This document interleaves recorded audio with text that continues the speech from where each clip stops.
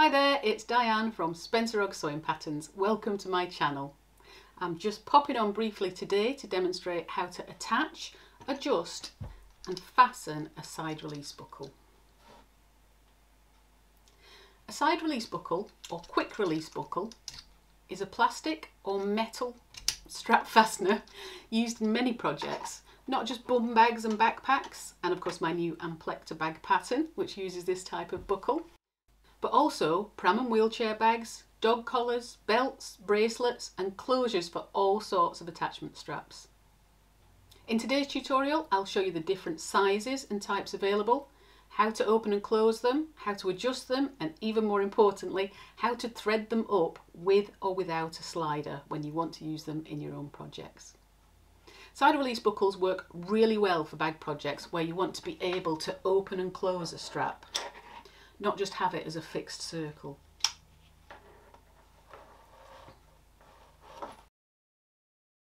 They're pretty handy things as they're easy to attach. You can open them one-handed if they're attached to a strap they're really strong and really efficient. They're normally super sturdy too and you can hear a satisfying snap to know they've fastened properly. Just be careful not to catch your skin in there when they fasten because they can chuffing hurt. They're super quick release and they enable you to adjust the length of the strap quickly and easily.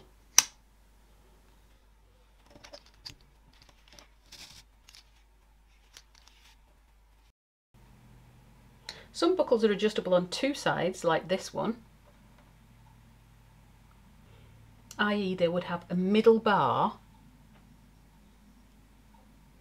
and it's this middle bar that makes them adjustable and it's usually ridged and it'll firmly grip your webbing stopping any slippage and some are adjustable just on one side like this one where the other side of the strap would be fixed permanently just through a single slot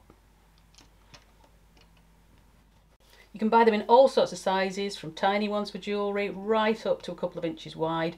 This is a one and a half inch here, a one inch, I think that's a three quarter inch. And you can get a small range of colours too if you shop around. Some have a curved appearance and others are flat. So that's a flat one. This is a curved. So if it has a curve, the curved edge should face the top. That's the right side of the buckle. They can be used with or without a slider. And I'll show you how to thread up both versions today. So here's one I'm going to use without a slider. So this is a one inch. It's a single adjuster. So we've got a bar on that side and not on that side. So you'd fix your strap to that side and this side will be an adjustment. So this is the type of thing you'd use in a backpack. So with your buckle the right way up, simply thread your webbing up through the inside slot and down through the outside slot over that adjuster bar. So up through the inside slot, that's the one next to the buckle, so we're leaving the buckle in one piece at the moment. So we're threading it up through the inside slot and then back down through the outside slot.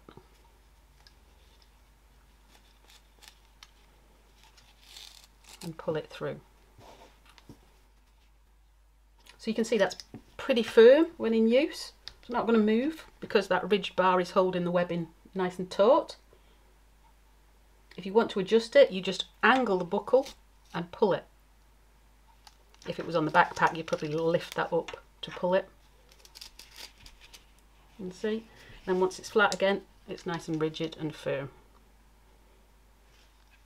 Now if you're using it in a backpack and you're leaving that, that loose end, you can double that over a couple of times and stitch that down and that'll stop that pulling back through at any point by accident.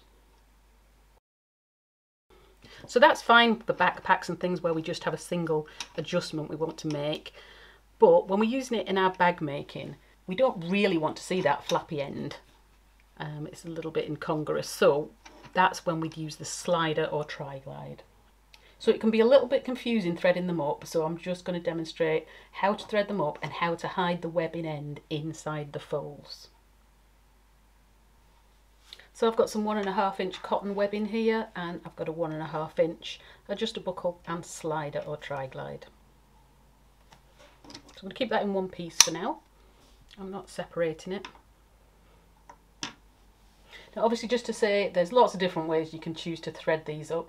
This is the method that I find works the best and tidiest for me in my own bag making and it's extra secure because you're adjusting and holding it in two different places. So take your length of webbing and cut the me measurements given in your pattern. So normally you'd have one long side and one short side for a bag or a bum bag because you want a break in the middle of it. But if you're making a belt, it might not have any break at all. It might just be the two ends. So I'm going to cut this just so I've got an 11, 12 inch piece. Now you can neaten the raw edges of the webbing where you've cut if you wish to with a zigzag stitch or melting with a hot knife depending on the composition of your webbing. That'll work for polyester and nylon. If it's cotton you'll probably have to stitch over the ends. I just use a, a wide zigzag stitch. I'll put my shorter piece to one side for now. I'm going to work on the longer piece. So take your slider first of all. It's also known as a tri-glide and that's because it's got three bars.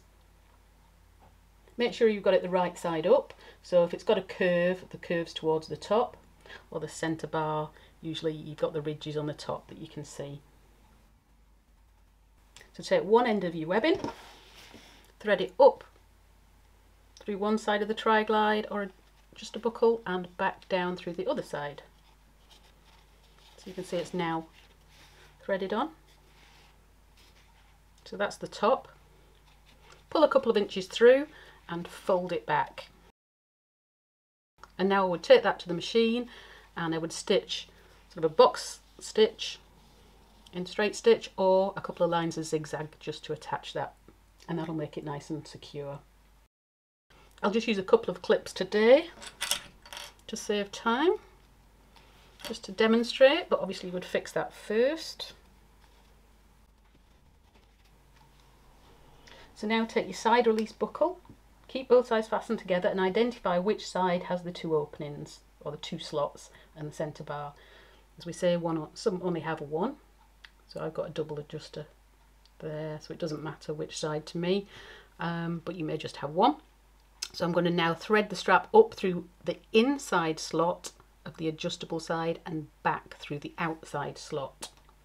So I'm going to make sure that strap is flat, I don't want it twisted, make sure you've got the seamed edge on top. So so the raw edge is visible on your strap because we want that hidden inside the loop. Pull that along. So keep your strap the same way up. And then I'm going to thread my adjuster buckle on at that side. So up through the inside slot.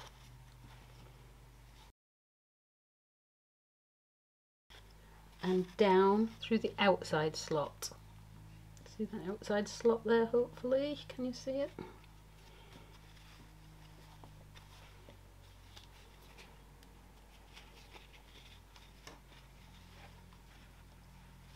So I'm going to thread most of my strap through that so you can see it's pulling through. So inside to outside and that's keeping my strap the same way up. So I'm going to thread most of my strap through the buckle so I can pull it up nice and close to my slider or tri-glide.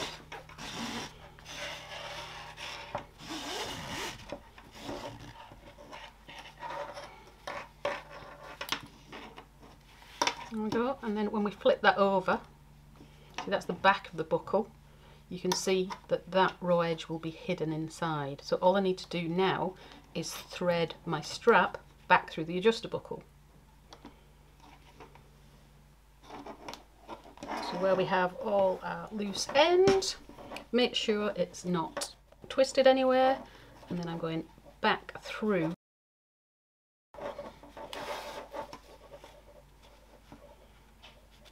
up and over the bar and you've actually got the webbing inside there already where you've attached it previously.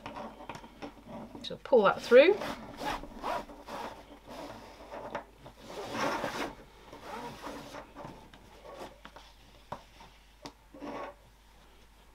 Keep pulling the free end of the strap through until it's tight on your buckle.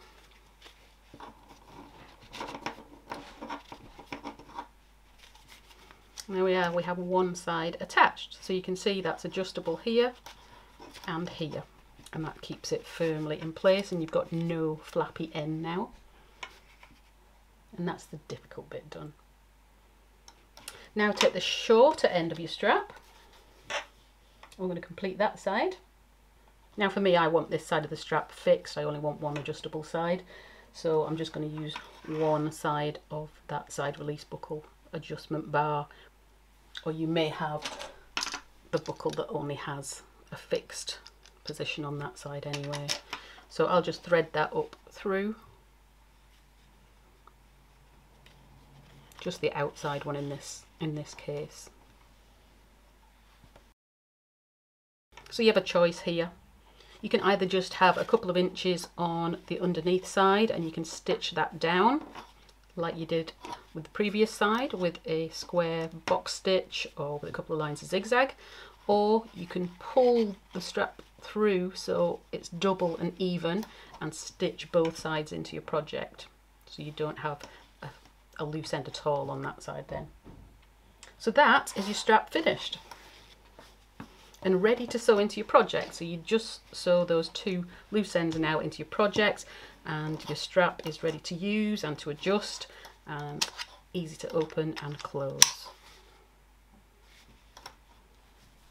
Thanks for joining me today and I hope you enjoyed the tutorial and found it helpful. Give it a thumbs up if you did. Do subscribe to my channel for lots of sewing tips and tricks and free tutorials.